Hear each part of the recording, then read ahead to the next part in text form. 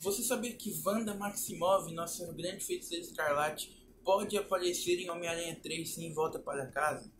Bom, se você não está ligado nessa teoria, fica até o final do vídeo que hoje eu vim trazer essa teoria bem bacana, bem interessante, muito legal para vocês. Então, vamos lá para a teoria e fica ligado. Salve, salve nerds, eu sou o Caminho de bem-vindos ao meu canal e hoje estamos aqui para trazer uma teoria muito legal que eu tinha visto, né, ontem à noite, quando estava esperando o, o, o, trailer de Homem-Aranha, né, ansiosamente, igual muitos de vocês, acho que a maioria de quem é, é nerd, quem é fã de Homem-Aranha estava esperando. E ontem eu acabei vendo essa teoria, se eu não me engano foi no Twitter, eu não sei, eu tava com um monte de coisa aberta. Acabei vendo essa teoria, eu achei muito interessante e um pouco louca, né, mas ligou tudo na minha cabeça depois que o trailer saiu. Bom, ontem à tarde eu trouxe um vídeo aqui no canal falando que WandaVision tentou nos avisar sobre o trailer de Homem-Aranha, né? Claro que a gente nunca vai saber se era essa a intenção, se a intenção era realmente dar spoiler de quando sairia o trailer de Homem-Aranha, porém, né, se você ainda não viu o vídeo, tá aqui, mas eu vou explicar por cima mais ou menos o que é. Temos algo, tivemos alguma relação é, no primeiro teaser trailer do Homem-Aranha com WandaVision, é, né, com referências de Halloween no primeiro teaser, teaser trailer lá, que mostrava né, o nome do filme. É, logo na época que estava saindo o, o episódio de Halloween de WandaVision, também tínhamos várias é, figuras hexagonais né, que também faziam meio que referência, vamos dizer assim, que a gente não tem certeza, mas que faziam meio que referência ao Rex da Wanda.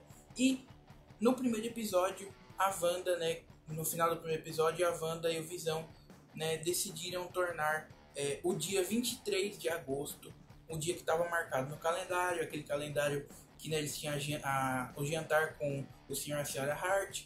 Então, eles decidiram tornar o dia 23 de agosto o seu aniversário de casamento. E o dia 23 de agosto, todos sabemos que foi o dia, foi ontem, né? que foi o dia, foi ontem que saiu o trailer de Homem-Aranha. Então, Aí já temos essas mini ligações, essas mini coincidências, né? A gente pode dizer assim, não sei se. Coincidência? Acho que não! É muita coincidência, né? Pra ser coincidência. Então, mas temos essas mini ligações e ontem eu vi essa teoria que me deixou de boca aberta, literalmente. Porque agora todo mundo tá falando que todo mundo pode aparecer, né? Em Homem-Aranha.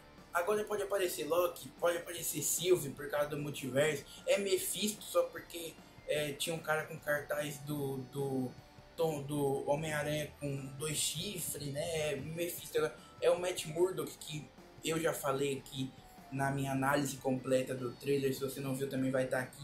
Que eu quero muito que ele apareça, mas não sei. É Venom também que pode aparecer, que agora todo mundo. Então, muita gente criando teoria falsa, rapaziada. A verdade é essa, que muita gente criando teoria falsa. Porém, eu trouxe a teoria aqui porque eu achei válida eu achei muito legal. Então, mesmo se ela não acontecer, já é alguma coisa que eu passo aí para vocês que eu quero que vocês tirem as suas conclusões, tá? Eu tô passando essa teoria aqui não como verdade, eu não tô falando que isso vai acontecer e que isso é uma verdade concreta.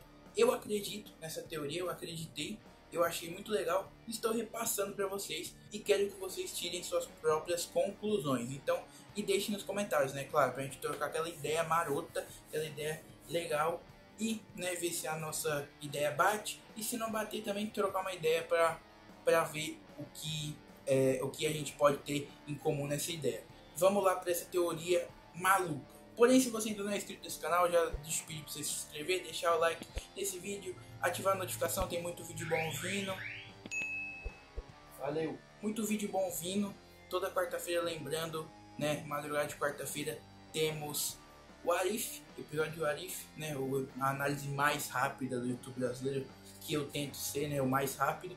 E todos os sábados também temos as notícias nerdísticas, que são as notícias da semana que ocorrem pela semana e eu deixo para soltar tudo no sábado. Então, já se inscreveu, já deixou o like, muito obrigado, eu agradeço, você me motiva demais a continuar com esse canal e né, a dar um up, realmente é, reerguer esse canal que eu tava, tava muito tempo parado aí, eu quero voltar com ele agora, eu tô com gás total. Então vamos lá para a notícia logo, vamos para a teoria, né, que é o que importa nesse vídeo aqui, que é o que você clicou para ver, eu estou enrolando demais. Então vamos lá. A teoria é a seguinte, que Wanda Maximoff irá né, aparecer no filme de Homem-Aranha 3 sem volta para casa. Muita gente falando que ela irá aparecer no pós-crédito, rapaziada. Por quê? Logo após o filme, o Doutor Estranho, né, junto com o Homem-Aranha, os Homens-Aranhas, né, isso aí tava claro lá, é, ele irá tentar fechar o multiverso, né, igual ele abriu sem querer, tentando conjurar um feitiço para todo mundo esquecer quem era o Homem-Aranha, ele abriu sem querer, ele vai tentar fechar o multiverso. Porém, né, como que ele vai fechar um negócio que ele não tem tanto conhecimento ainda? Ele não sabia do multiverso. O multiverso foi começou a ser é, mostrado pra gente em WandaVision, né, no finalzinho ali, e depois foi apresentado completamente em Loki. E agora, né, tá sendo ele está sendo muito bem mexido e muito bem manipulado em o Arif, né? Agora o Arif sim é, é uma série clara do multiverso sendo né, usado na Marvel. O Doutor Estranho não tinha conhecimento, é o que essa teoria deixa. Então, na hora dele fechar, ele não consegue fechar o multiverso e acaba ouvindo os filhos da Wanda, rapaziada, pedindo socorro, assim como ela ouviu é, na cena pós-crédito, né?